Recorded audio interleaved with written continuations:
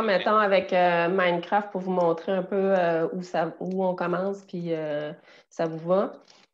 Parfait. Puis après, j'irai avec les supports numériques. Frédéric, je ne sais pas, toi, si tu avais d'autres. Non, tout est beau, merci. je suis désolée, je t'en soutiens en même temps que je vous écoute. Parfait. Donc, je vais vous faire un partage d'écran. En fait, pour Minecraft, c'est sûr que ça prend l'application. Euh, l'application installée qui, en passant, euh, euh, c'est possible d'avoir une version gratuite pour quelques connexions seulement pour les élèves. Là. des fois, là, si on veut seulement utiliser Minecraft pour un petit projet ou une petite tâche pas trop longue, euh, on a accès gratuitement avec un compte absolument là, Office 365 euh, pour 10 connexions pour les élèves. Donc, il faut, faut qu'ils sachent qu'au bout de 10 connexions, ils n'auront plus accès. Euh, pour les enseignants, eux, c'est 25. ça peut être intéressant si on sait que, par exemple, si on veut planifier, si jamais je bascule à distance, ah ben, je le sais, je vais faire mon petit projet Minecraft là où je vais faire mon, je, vais faire mon, appropriation avec les élèves de Minecraft en programmation à ce moment-là. Fait que euh, c'est le genre de choses qu'on peut planifier. Pour acheter la licence Minecraft, ben, des fois, c'est déjà fait dans. C'est déjà fait dans. Euh, si vous êtes avec Microsoft, c'est déjà fait dans le package, mais sinon, c'est 5 euh, US par usager par an. Donc, pour aller dans le volet programmation, ça, c'est nouveau. Ils ont ajouté ça dernièrement ici directement dans la page d'accueil, le partage d'écran où il fonctionne. Donc, euh, on a accès, puis vous vous reconnaissez heure de code. C'est un petit peu le même, euh, le produit que code.org. Donc, euh, c'est le genre de choses par lesquelles on peut passer pour apprendre. Moi, c'est un petit peu moins par là que je suis passée, mais on peut le regarder quand même. Fait qu'ici, c'est des leçons des leçons où on a un monde euh, à créer, il y a un plan de la leçon, on peut partager le lien. Donc, euh, ça peut se faire par là, mais là, c'est vraiment un petit peu plus des projets peut-être de plus, euh, plus grande envergure. Moi, je veux vous amener vraiment dans la plateforme Make Code de Minecraft. Quand je vais sur Jouer, ça, c'est comme d'habitude. J'entre dans mon monde habituel où je me crée un monde comme d'habitude. Je vais me créer un monde, par exemple, ici, c'est pour le code toujours en mode créatif, paisible, type de monde plat, parce que euh, moi, ce que j'aime faire souvent, c'est des constructions là, de, bâtiments ou euh, de choses qui sont sur un terrain plat, c'est plus facile avec la programmation. Euh, tandis qu'un terrain accidenté, c'est, beaucoup moins pratique. ici, jour éternel, c'est toujours pratique. Bref, des petits météo parfaites aussi, c'est toujours pratique. Euh, donc, je vais jouer. On part euh, ça. Est-ce oui. que là, tu m'entends mieux? Oui, oui. Oui, bon, excellent. Euh, juste pour. en fait, là, moi, l'expérience que j'ai faite avec Minecraft, c'était sur iPad. Ça semble être sensiblement la même chose. Oui. et sur iPad, quand on télécharge Minecraft Éducation, c'était gratuit là, pour les classes où je suis allé. Euh... Oui, ben c'est ça, c'est le, probablement c'est la gratuité. Soit qu'il y ait déjà, euh, il y a certains CSS qui l'ont vraiment acheté d'emblée dans leur package Microsoft au départ. Fait que soit c'est ça, ou bien tu es sur la version temporairement gratuite, 10 connexions élèves, 25 connexions enseignants. OK. Fait qu'il ben, faudrait vérifier. Ça se peut que je pense, je pense que dans notre CSS, là, ils l'ont euh, ils, ont fait une acquisition. OK. Donc, oui, sur tablette, puis même souvent les jeunes sont plus habiles sur tablette euh, que sur ordinateur. Euh, sachez que moi, pour avoir des enfants à la maison qui connaissaient Minecraft, la construction, quand je leur ai montré le constructeur de code, ils ont fait Oh, wow, parce que ça, leur ça les amène beaucoup plus loin. Euh, c'est vraiment intriguant pour eux, puis c'est vraiment stimulant. Là. Donc, le constructeur de code, vous voyez dans les contrôles, c'est en appuyant sur la touche C. Là, j'arrive euh, dans le fond, c'est un peu la plateforme Make Code, mais dans Minecraft. Je vais agrandir ici un peu. C'est là que sont les tutoriels à la code.org. Donc, si je veux apprendre euh, à faire une pluie de poulet, donc je clique ici. Euh, je peux démarrer. Ben, c'est sûr que là, on peut y aller par bloc, par Python, JavaScript. On va débuter par, par bloc. Il y a la partie démarrer le tutoriel. Puis vous allez reconnaître le, si vous connaissez déjà code.org, la, façon de fonctionner, donc étape 1, ça c'est faire une petite lecture du, de ce que ça donne, le résultat attendu finalement. Étape 2, on te donne des indices, comment faire. C'est en anglais seulement, mais les, boutons sont quand même en français. Des fois, en tout cas, la traduction n'est pas tout à fait, pas toujours bien faite. Donc, euh, mais quand même, les élèves sont, capables de se retrouver parce qu'ils ont accès seulement aux blocs nécessaires pour, pour, faire leur programmation. Donc, euh, c'est ça. Ici, l'élève est amené à faire ce qui est là, puis étape par étape, il a accès, euh, il a accès aux informations pour faire son code. Donc là, par exemple, si ici, put in and rename to chat commande, ici c'est chicken qu'il faut que je mette, ou poulet finalement. Ça, c'est ma première étape. Étape suivante, euh, je vais aller chercher ma créature, faire apparaître. Je choisis, euh, j'ai-tu le poulet? Oui, j'ai déjà le poulet. En position 000. Étape suivante. Je peux changer la position. Donc, ils me disent de le mettre à 0, 10. C'est des, positions X, Y, Z. Euh, pardon, X, Z, Y. Ici. Puis, finalement, Go to Minecraft, press T, ça c'est pour ouvrir le chat. Puis euh, là, c'est la commande chicken. Donc là, je presse play. Ça s'en va dans Minecraft. Je pèse sur T pour ouvrir le chat. Puis j'écris la commande chicken. C'est celle que j'ai. Euh, c'est comme ça que je l'avais nommée. Donc là, je devrais avoir une pluie de poulets. Oui, ils sont sur moi. Je vais reculer. Ils sont pas là. Pourquoi? Je vais retourner voir dans Con où ils sont plus loin. J'ai un petit bug là. Je m'excuse. Donc, chicken, C-H-I-C-K-E-N. Faire apparaître, c'était bien ça. 0, 10, 0, mon, mon animal, correct. Je ne vois pas pourquoi il ne le fait pas. Suivant chicken. Je recommence. Donc, T pour ouvrir mon chat. Chicken. Je l'ai bien écrit. Ah, les voilà. là, c'est qu'il y aurait eu. Ah, c'est ça, ils sont tombés. Je sais pas, vous les avez peut-être vus rapidement, là sont tombés, mais ils se sont sauvés. Là. Ils sont partis marcher un peu partout. Mais là, c'est que je pourrais entrer en plus la commande, répéter indéfiniment. Fait que là, la pluie de poulet va descendre indéfiniment. Bref, ce genre de choses qu'on peut faire. C'est très ludique, mais éventuellement, je vais revenir dans C, reprendre le jeu. Je reviens dans C. Mais éventuellement, il y a énormément de tutoriels qui nous amènent plus tard à faire des constructions assez élaborées, faire des châteaux, par exemple, des constructions géométriques. Puis là, il y a toutes sortes de choses qu'on peut faire. Euh, faire un méga jump par une pluie. Euh, quand on se déplace, il y a des fleurs qui, euh, nous suivent.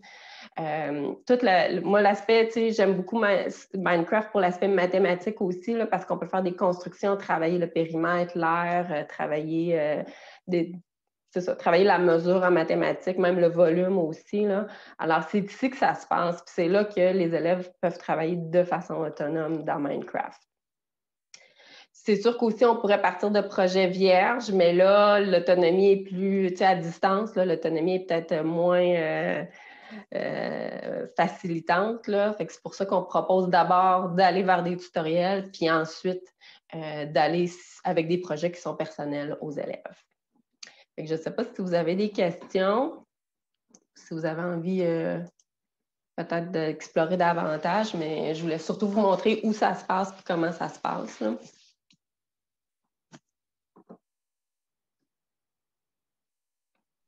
Pour ma part, ça va. Euh, c'est sûr qu'il va, falloir que j'aille voir ça davantage. Là. Euh, je ne savais pas cette commande-là. Puis sur iPad, justement, il ne l'a pas, le constructeur de code. de, euh, Sur iPad? Oui. Oui, sur iPad, il l'a aussi. Oui, il y a l'équivalent. Il y a l'équivalent. C'est la même chose. Euh, je n'utilise pas beaucoup mon iPad pour ça, mais probablement que, tu sais, vraiment, il on peut cliquer sur C pour ouvrir le constructeur de code. Je vais vérifier tantôt, là, mais euh, oui, parce que mon garçon, moi, il allait faire son constructeur de code sur son iPad. Fait que oui, je te confirme qu'il l'a. C'est bon. Oui. Ben, déjà, ça, ce sera un plus euh, dans mes connaissances, mais là, ça va, falloir que j'aille explorer. C'est bon. le chemin, c'est vraiment quand on est direct dans Minecraft, c'est C, on clique sur C, on le voit là, dans les contrôles, C, c'est là qu'on y a accès. Parfait. D'autres questions?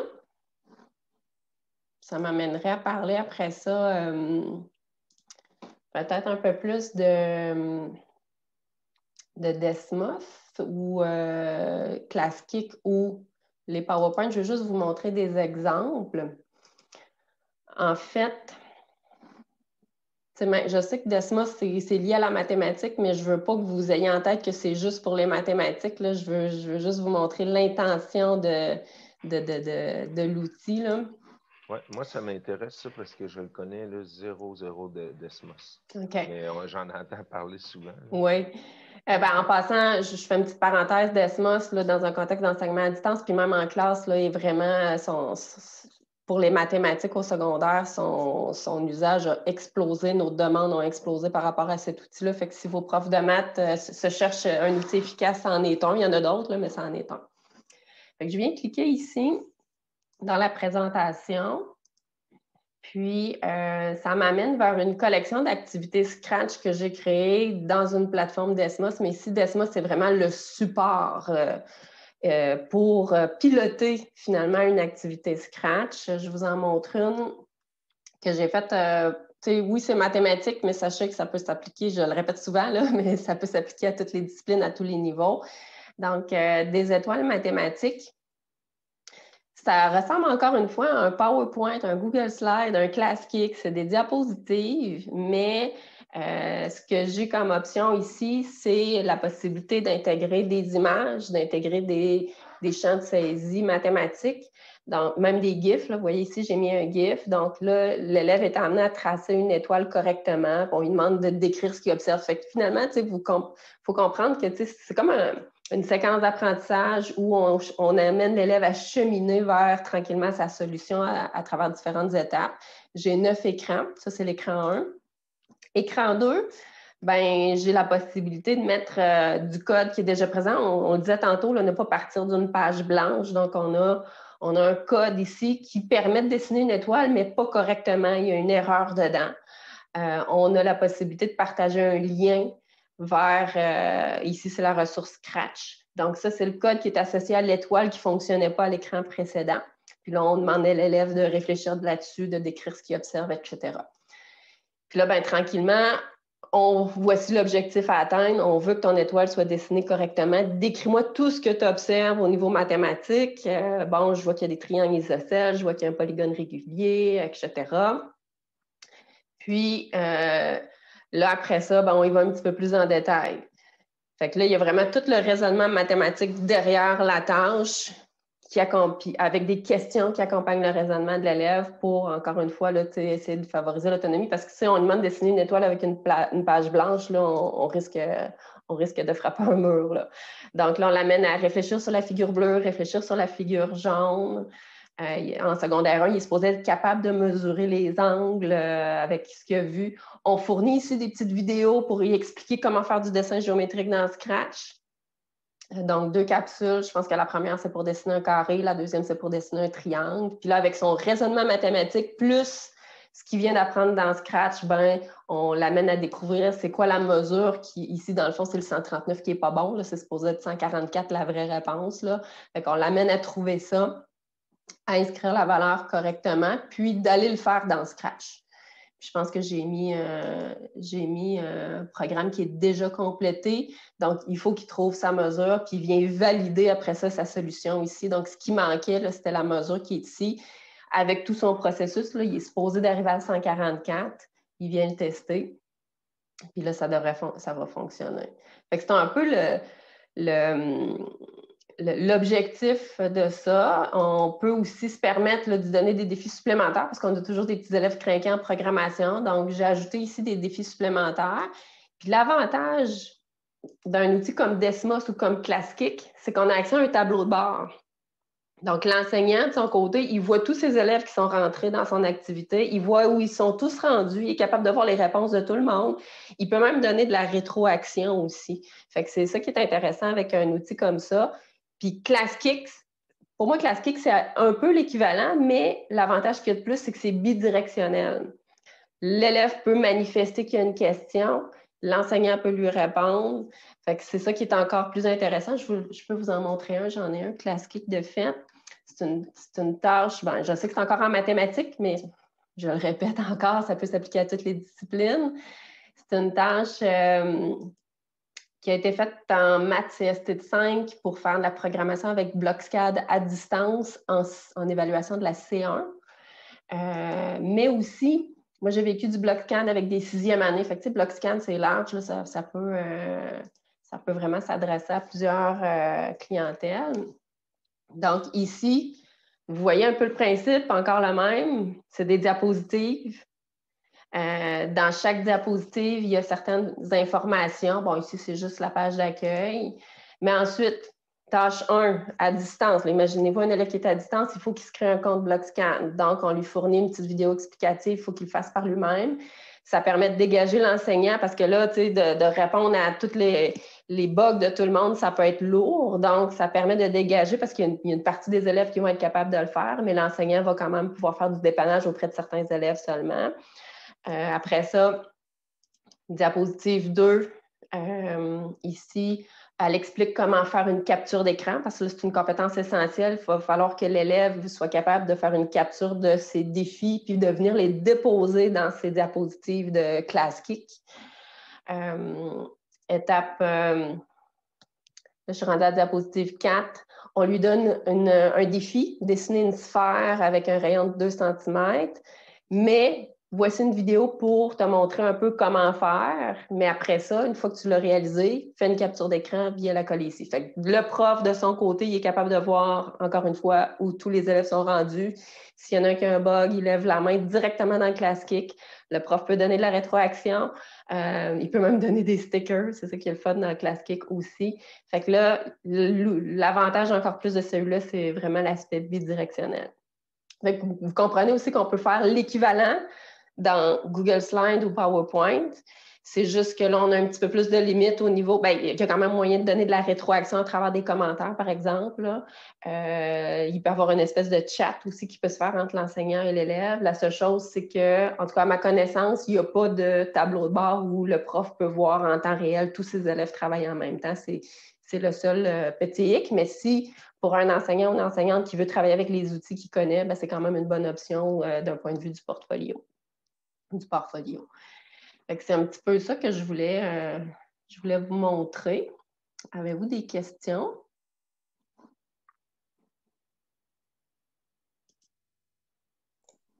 Je te dirais que ça va être de, l'essayer. J'ai l'impression que dans vos façons de réussir à attirer les enseignants, c'est probablement de leur euh, faire essayer des choses en premier qui sont déjà faites. Parce que ça, prend un petit nanan. Oui. Est-ce que, parce que là, il nous reste, il est rendu, ouais, il est rendu 11 heures, on va être bientôt rendu à changer de salle euh, si vous le souhaitez.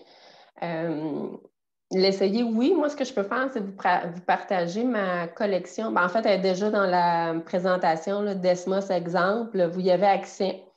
Donc, euh, si vous créez un compte Desmos, vous avez, vous avez accès à mes, activités en mode enseignant. Donc, euh, ils peuvent être transférés tout de suite euh, tels quels. Ils peuvent être modifiés aussi sans problème. Ça, ça répond à mon besoin, moi. Oui. Il y a des, de cette façon-là, je vais retourner là. C'est ça que j'allais te demander. Là, si y avait moyen d'avoir accès à. C'est ça. Donc, c'est excellent. Fait que, tu sais, même si c'est fait en mathématiques, ça vous donne un, petit peu un, modèle, un portrait. Il y a une CP là, euh, dans la région qui en a fait une que j'ai mis, c'est Cynthia Potvin. Euh, encore une fois, avec Scratch aussi, un peu dans le même style, même modèle. Euh, elle a prévu de le faire à distance là, prochainement, à la fin janvier, avec, avec une enseignante. Donc, il est 11 heures. Fait que s'il n'y a pas d'autres questions, euh, je, vous invite peut-être, si vous souhaitez rester aussi puis continuer d'explorer, c'est bien correct. Euh, c'est comme vous voulez, mais si, vous voulez changer, si vous voulez changer de salle, vous êtes les bienvenus aussi. Merci beaucoup. Sur iPad, là, j'ai pas vraiment trouvé le, clavier C, mais il y a un petit bouton là, dans le haut. Je ne sais pas si tu vois mon iPad, là, mais dans le haut à droite, c'est là que ça fait sortir le, même menu comme si tu avais pesé sur C. De la même façon que tu pas sur T pour faire le chat, là. le chat, puis à droite, as celui pour les codes. C'est vrai, c'est pas un C, c'est vraiment en haut. Il y a comme un petit, un petit symbole particulier. Là. Ouais. Merci. C'est bon, c'est plaisir. Bonne exploration. merci, salut. Salut.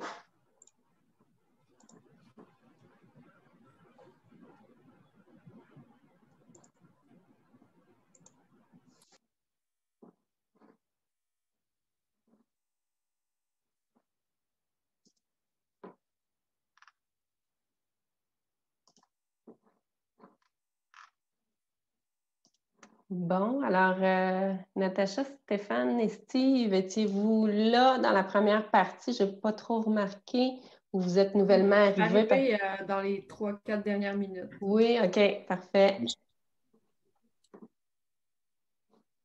vient tout juste d'arriver. Oui. Stéphane aussi? Effectivement. Parfait, bon. Alors, bonjour. Euh, j'imagine que, bon, je veux juste être certaine que vous êtes dans la bonne salle. On est ici pour éventuellement parler de la programmation dans Minecraft de façon autonome avec les tutoriels intégrés à la, plateforme et aussi euh, utiliser euh, un support technologique pour soutenir l'élève tout au long d'une tâche en programmation. Donc, euh, j'aimerais savoir ce qui vous intéresse le plus là-dedans pour qu'on le mette peut-être en priorité.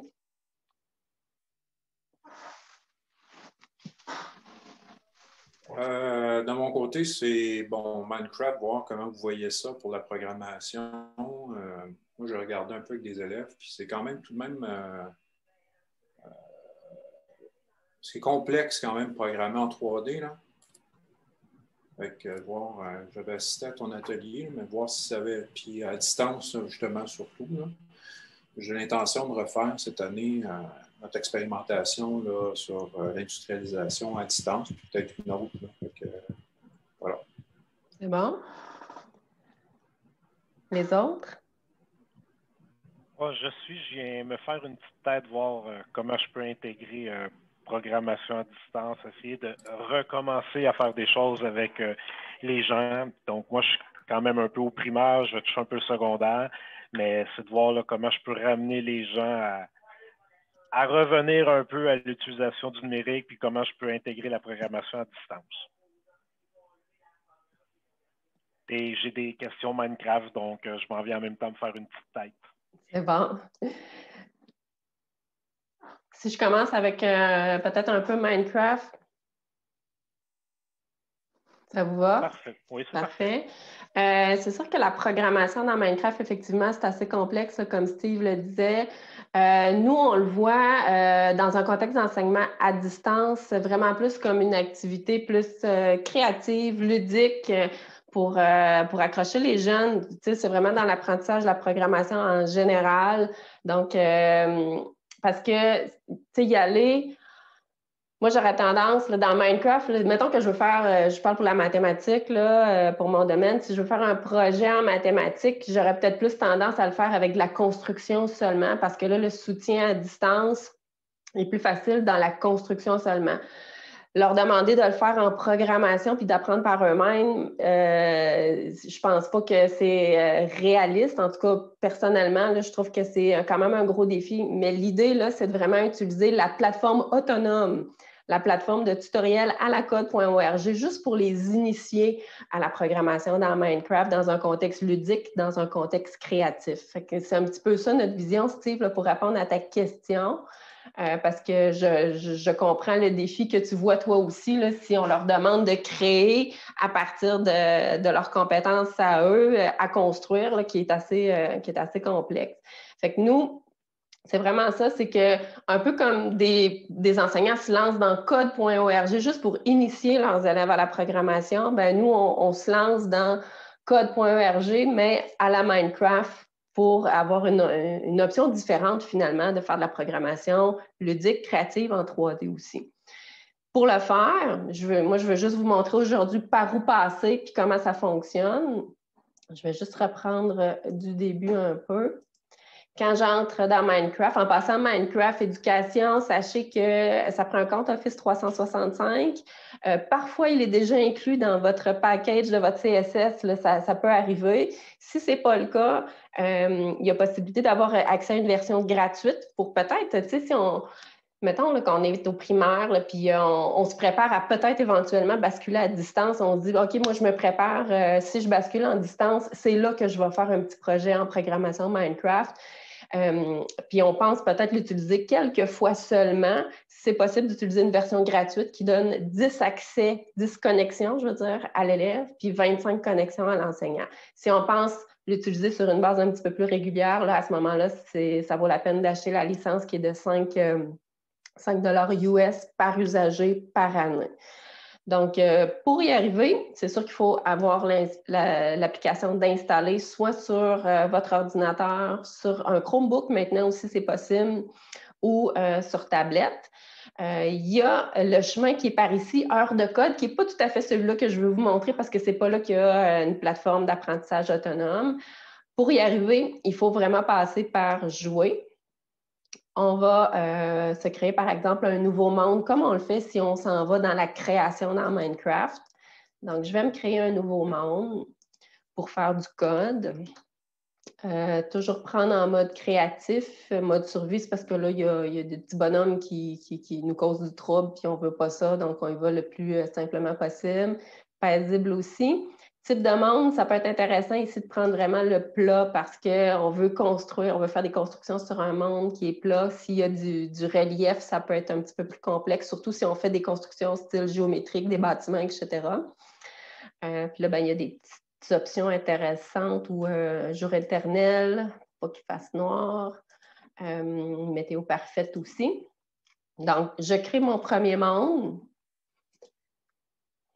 Puis, au lieu d'y aller en mode création bloc par bloc, euh, c'est là qu'on est amené à se rendre au constructeur de code. Donc, quand euh, vous voyez ici les contrôles, on a différents contrôles. Si vous voyez la touche C, c'est elle qui m'amène au constructeur de code. Il faut passer par là.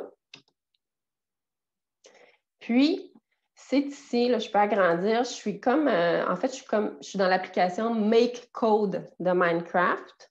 C'est ici qu'on a accès à des tutoriels à la code.org. Puis il y en a plein. Au début, il y a des petites choses toutes simples, des petites.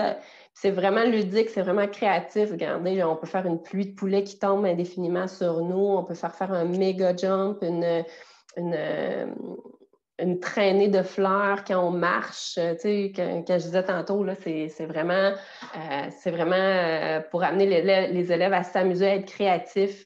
Euh, à, travers le code, mais aussi tranquillement les amener à faire des constructions. Donc, euh, ça peut aller très loin, la programmation dans Minecraft. Ça, peut devenir très complexe aussi parce que c'est large, mais il y en a vraiment pour tous les niveaux. Pour avoir à la maison euh, deux jeunes enfants qui connaissaient déjà Minecraft, quand je leur ai montré ces petits tutoriels-là, puis qui ont vu à quel point ils pouvaient avoir des, des espèces de super pouvoirs autre que ce qui vient de base dans Minecraft Éducation, euh, on voit vraiment qu'il y a un, engagement, un engouement pour ces petites choses-là. Donc, euh, moi, je l'ai vécu personnellement avec, euh, avec mes enfants à la maison. Donc, quand, quand on commence, on clique sur le tutoriel qui nous intéresse, qui est ici, puis vous allez reconnaître. Bien là, on a trois options. C'est sûr qu'on va peut-être débuter avec les blocs et non avec Python ou JavaScript. Donc, on démarre le tutoriel ici au début, on a une explication un peu de ce qui s'en vient, l'objectif à atteindre. Et on démarre, on est dans un environnement de blocs. Puis là, vous reconnaissez, si vous connaissez déjà code.org, c'est le même principe. On a notre progression ici. Je suis rendue à l'étape 2 parce que j'ai déjà vu la petite vidéo. j'ai accès seulement au bloc nécessaire, puis j'ai des instructions ici. Fait que c'est vraiment presque un copier-coller de l'interface de code.org. Donc, euh, on évolue comme ça à travers. Ici, c'est écrit en anglais, mais euh, avec la petite ampoule ici, on a quand même accès, si l'élève a besoin d'un peu plus de soutien. C'est pour ça qu'on parle d'apprentissage autonome. Hein. Si l'élève a besoin d'un petit peu plus de soutien, il y a la petite ampoule ici qui l'aide à assembler ses blocs. Puis il a accès seulement aux blocs nécessaires. Donc, une fois que tout ça est assemblé, après ça, il clique sur Play. Ça l'amène dans Minecraft. Puis il y a les instructions pour démarrer, euh, pour démarrer le, programme finalement. Donc, c'est un peu comme ça que ça fonctionne. Euh, Puis là, ben, on peut s'amuser quand même assez longuement. Euh, je vais quitter ce tutoriel-là. Une fois qu'on en a un de fait, ben, on peut aller s'amuser dans les autres, puis ça s'ajoute ici à ceux qu'on a fait tranquillement, si les élèves en font à plusieurs reprises, ben là, ils vont tranquillement être amenés à être capables de faire leur propre projet à eux puis construire d'une page blanche. Mais comme on est en contexte d'enseignement à distance, on veut de l'appui, on veut du soutien, on veut qu'ils soient capables d'avancer le plus possible tout seul. Donc, euh, c'est pour ça qu'on voulait, euh, on voulait vous présenter une autre plateforme différente qui ne qui, ressemble pas à aucune autre sauf euh, code.org, mais en même temps, c'est vraiment, vraiment du 3D. Est-ce qu'il y a des constructions un peu complexes dans, dans les codes, dans le tutoriel? Ici, ben oui, quand on, arrive dans l'agent Minecraft, ici, là, ça devient assez complexe. Là. il, y en a vraiment pour tous les niveaux, pour ceux qui commencent, tout simplement, puis pour les. parce que vous allez en avoir, là, il va en avoir des petits élèves craqués qui vont vouloir aller plus loin, c'est certain. Là. Ceux qui connaissent en plus déjà la, programmation, là, donc euh, c'est ça, il y, en a pour, tous les goûts. Puis après ça, est-ce que tu peux copier le code pour l'emmener dans ton monde? Bonne question. Sûrement que oui. En fait, dans le fond, je fais le tutoriel, je vois comment construire rapidement un bloc euh, de structure en bois, par exemple. Puis après ça, bon, je l'amène dans mon, euh, dans mon code. Ouais. Ici, malheureusement, il n'y a pas l'air d'avoir d'option. Une fois que mon code est complété, il n'y a pas l'air d'avoir l'option enregistrer parce qu'il l'a quand on crée une page à partir d'une page blanche, ça c'est accessible. Ici, je ne le vois pas. Est-ce que dans le fond, c'est ça, c'est qu'il sort un nouveau monde, il crée, euh, tu sais, tes amènes à dire, ben, allez vous faire un espèce de bloc rapide au lieu de mettre 50 euh, 000 euh, blocs là, pour faire votre structure, puis elle fait juste apparaître dans le monde. Oui, mais ici, j'essaie de voir si, tu sais, ce que je construis dans le, dans, pardon, dans le tutoriel, si je le construis là, si je peux l'amener après ça dans mon monde à moi que j'ai créé. Euh, je vois qu'il y a un dupliqué, mais il n'y a pas d'option. Peut-être si je vais à la diapo 7, mettons que j'ai terminé, est-ce qu'il me permet de l'enregistrer? Ah oui, regarde, c'est là. Une fois qu'on est à la fin, qu'on a terminé, qu'on a validé, qu'on est allé tester, on a la petite roue d'engrenage ici qui me permet d'enregistrer le projet. Là oui, ça répond, euh, ça répond à ça. Quand j'ai créé à partir du tutoriel, je peux après ça m'en servir dans mon, euh, dans, mon euh, dans un autre projet. En fait, quand on dit enregistrer le projet, c'est enregistrer le code ou c'est enregistrer le monde et le code? Parce que c'est pas, c'est le code. C'est toujours le code, c'est pas le monde et le code. Parfait. Ouais. Il y a dans partager ici aussi, on peut le publier. Moi, j'ai tendance à m'en faire euh, des copies. Là, euh, euh, j'ai remarqué que quand ça fait plusieurs semaines que je n'ai pas utilisé mon, mon, Minecraft, mes codes, mes projets s'effacent. Fait que tous mes projets, je me les ai gardés en copie là, sur, sur mon ordinateur ou sous forme de lien aussi, c'est possible. Est-ce que c'est la version payante, celle-là? Celle-là, oui, c'est la version payante. Euh, uniquement accessible sur Minecraft Éducation. Hein. Ça, ce n'est pas accessible sur la version Minecraft de base. Euh, mais si vous utilisez la version temporairement gratuite, c'est les mêmes accès. OK. Est-ce qu'il y a d'autres questions?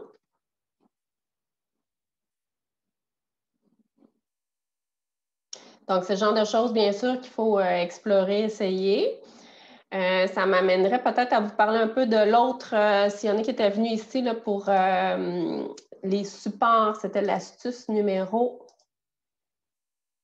L'astuce numéro 6, utiliser un support qui permet de soutenir l'élève tout au long de la tâche. Ça vous va? Parfait. Euh, euh, j'aurais tendance à vous montrer un peu euh, quelque chose que j'ai expérimenté avec une enseignante. C'est dans le domaine de la mathématique, mais il faut, faut, faire un peu abstraction de ça. ça peut s'appliquer vraiment pour toutes les, toutes les disciplines, tous les niveaux. Donc, moi, ça a été fait dans le cadre d'une C1 en CST5 en modélisation 3D avec BlockScan, qui est un outil de programmation pour faire du dessin 3D. L'enseignante a décidé d'utiliser ClassKick classique qui, ressemble, moi je trouve que ça ressemble beaucoup à un PowerPoint, un Google Slide ou même à un Desmos, si jamais vous connaissez déjà l'outil. Ce sont des diapositives, mais dans, dans lesquelles on peut déposer de l'information pour les élèves et recueillir des traces aussi euh, de la progression de l'élève. Donc ici, l'idée, je peux vous, vous ouvrir peut-être la première diapositive, ça ici c'est seulement l'accueil. Euh, la deuxième, on veut à distance que l'élève crée lui-même son compte sur l'outil de programmation. Ici, c'est BlockScan. Donc, vidéo d'introduction, on espère, on souhaite que la plupart des élèves le fassent par eux-mêmes, mais ça dégage l'enseignant d'avoir à supporter tout le monde. Et ça, ça, ça lui permet après ça d'accompagner seulement les élèves qui en ont besoin. Donc, petite vidéo dans un écran. Ensuite, écran suivant, euh, on explique à l'élève comment faire une capture d'écran parce qu'il va avoir besoin de le faire un peu plus tard pour laisser des traces de ses productions euh, visibles à l'enseignant. Donc, vidéo aussi pour savoir comment faire ça. Ensuite, euh, on lui donne un premier défi. Ici, c'est dessiner une sphère. pour t'aider, voici une vidéo dont tu peux te servir. Quand tu as terminé, fais une capture d'écran, viens la déposer ici dans la diapositive pour que moi, le prof, je puisse voir ce que tu as réalisé. C'est un petit peu comme ça que ça se fait tout au long. Tâche numéro 3, là, on a une, autre forme avec un tutoriel encore une fois. Puis ça les amène tranquillement à faire des défis de plus en plus complexes. Le dernier, si je regarde la tâche 7, c'est créer un dé à six faces. Fait que ça, c'était la phase d'appropriation de l'outil qui s'est vécue à distance pour cette enseignante-là avec euh, trois groupes de CST de 5. Euh, puis après ça, il y avait la phase de réaliser la C1 qui était euh, de créer des pièces de jeux d'échecs. Puis elle a utilisé un petit peu la même formule dans un classique encore une fois pour donner d'autres tutoriels si jamais il y en avait besoin, pour donner les contraintes associées à la tâche, mais aussi pour récupérer des traces visuelles, des traces sous forme de liens, pour récupérer des questionnements, etc. Puis dans Classic, comme je le disais tantôt, ce qui est intéressant, c'est le bidirectionnel. Le prof peut communiquer avec l'élève, l'élève peut communiquer avec le, euh, prof. Euh, ça peut être de l'audio, des photos, des questions, euh, lever la main, etc. Fait que c'est un peu ça que je voulais présenter comme support technologique. Vous comprenez que si un enseignant veut utiliser une plateforme déjà connue comme Google Slide ou PowerPoint, ça se fait aussi. Euh, parce que dans Google Slide et PowerPoint, en plus, on a les commentaires, donc il peut y avoir une forme de chat pour euh, faire de la rétroaction, etc. On peut intégrer des vidéos, des captures d'écran aussi. La seule chose, le seul bémol, c'est qu'à ma connaissance, il n'y a pas moyen d'avoir une espèce de vue d'ensemble de tous nos élèves de la classe. Il n'y a pas de tableau de bord ou de classe virtuelle, c'est peut-être le seul bémol, mais je le vois un peu comme un portfolio qui permet de fournir et recueillir des informations des deux côtés dans une séquence d'apprentissage. Desmos en est un aussi. Desmos, oui. Le, classe Kick, tu vois la vue d'ensemble de tes élèves? Tu les vois toutes en même temps? Oui, c'est ça. OK. Oui tu vois où ils sont rendus, euh, sur quelle diapositive. OK, j'en ai un, il est juste rendu au défi 1. Euh, je vais aller le voir pour, lui demander s'il y a des problèmes. Euh, je vois qu'il y en a un qui est vraiment, lui est parti, ça va bien, je vais le laisser aller. c'est ça qui est intéressant.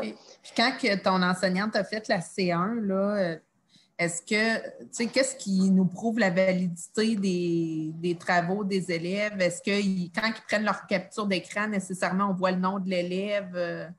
En fait, on a décidé de se pencher vers une tâche euh, ouverte dans le sens où chaque création peut être différente euh, en dessin, en dessin 3D. Donc, euh, c'est un peu ça parce que la, validité, malheureusement, il n'y a pas de solution miracle. en tout cas, on n'en a pas trouvé encore, mais on essaie. nous, dans, notre domaine, on essaie d'y aller avec des tâches créatives, des tâches ouvertes. Donc, euh, si on remarque qu'il y a deux rois et reines qui sont euh, complètement identiques, ben là, on a un soupçon. c'est un peu notre approche ou notre stratégie, je dirais. Puis l'enseignante, quand elle partage, elle, va dans le fond dans son, forum, elle met le lien, c'est tout? Oui, elle a, travaillé avec Teams. Donc, dans Teams, elle a partagé son class kick euh, aux élèves. Les élèves y avaient accès, puis après ça, eux naviguaient pour euh, étape par étape, suivre euh, la progression. Puis à distance, ils ont fait ça. Le, problème qu'on a eu, j'ai assisté aux premières séances. Le problème qu'on a eu, c'est que les élèves se sont pointés avec un cellulaire pour certains. Hein, c'est ça leur appareil technologique. Donc là, c'est important de mentionner que ça prend vraiment un Chromebook ordinateur ou tablette, pas avec un cellulaire pour faire la, programmation. Mais essentiel, globalement, ça s'est bien passé. Puis un petit peu le même principe pour, euh, pour la C1, parce qu'il y a eu deux phases, la phase appropriation puis la phase euh, C1. Puis, euh, ça m'amène à l'outil de Desmos. Je ne sais pas si ça vous intéresse aussi, avant de terminer. Oui. Desmos, c'est un peu l'équivalent aussi. C'est un outil qui est beaucoup euh, présent dans, le domaine de la mathématique au secondaire. C'est un, outil qui est très populaire depuis euh, quelques années, puis il l'est encore plus depuis la pandémie, mais euh, il s'utilise dans toutes les disciplines. C'est un peu le même principe. Vous voyez encore mon écran. Ben, je vais vous en présenter un autre, par exemple. Ça, est une que j'ai faite. c'est un peu le même principe c'est encore une fois, c'est comme des diapositives euh, qui amènent l'élève à progresser à travers une tâche. Donc, euh, je vous fais un aperçu. Donc, euh, on a un problème à résoudre, une étoile qui n'est pas bien dessinée, qu'est-ce que tu observes? Donc, l'élève ici écrit tout ça, puis de son côté, l'enseignant peut voir le tableau de bord, il voit tout ce que ses élèves écrivent. Il peut même faire une, une petite discussion par rapport à ça à distance. Ensuite, ah, on a, tu sais, tantôt on parlait de ne pas partir de la page blanche. On a un bout de code ici, mais c'est l'étoile précédente qui ne fonctionne pas, puis il faut, il faut arriver à trouver l'erreur dans ce code-là. On est capable de partager du texte, des liens, des images, des vidéos, des GIFs et tout ça. Ensuite, voici l'étoile qu'on veut euh, créer. Puis là, décris-moi ce que tu observes. On est au premier cycle du secondaire en mathématiques. On observe qu'il y a un polygone régulier, on observe qu'il y a des triangles, euh, des triangles euh, isocèles à ce stade-là, l'élève est supposé être capable de mesurer ces angles-là. Fait que tranquillement, on, l'amène vers ça. Euh, là, observe un petit peu plus la, figure du milieu. La figure du milieu, ben, c'est un polygone régulier. Qu'est-ce que tu sais de ce polygone-là? Qu'est-ce que tu serais capable de calculer, etc. J'accélère parce qu'on va quitter la séance dans pas longtemps. Donc, finalement, en bout de ligne, on amène, on peut partager des vidéos à l'élève pour lui apprendre à faire du dessin géométrique dans Scratch. Ici, deux capsules vidéo de 3-4 minutes sont nécessaires pour apprendre d'abord à dessiner, par exemple, un carré puis un triangle. Mais avec ça, il, est supposé avoir les acquis pour être capable de faire euh, son étoile avec son raisonnement mathématique. Puis ça, tout ça, le prof a accès à ça.